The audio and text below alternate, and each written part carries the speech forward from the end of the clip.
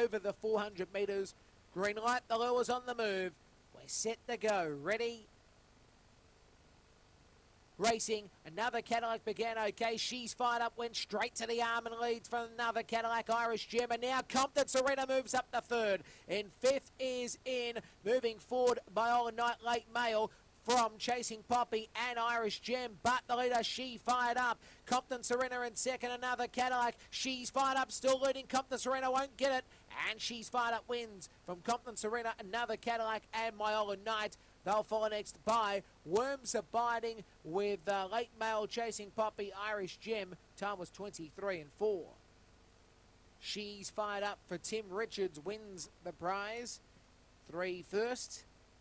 A Brindle Girl on fire. She's a looper. Second, Compton Serena trained by Tracy Price. A Black Girl, Aussie Infrared headline. And third, another Cadillac Captain Abbott, Aussie Infrared Olivia's Ruby, a white and Brindle Girl.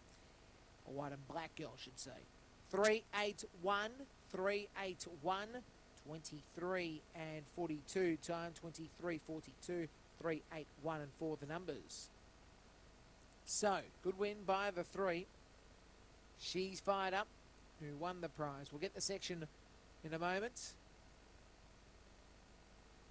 Two lengths by three lengths.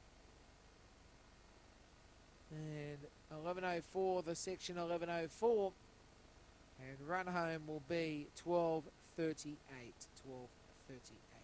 11.04 first section, run home 12.38, 23.42 time. Two lengths by three lengths and 3, 8, 1 and 4 the numbers. All clear will come up shortly. Race 9, Mount Gambier, race 10 and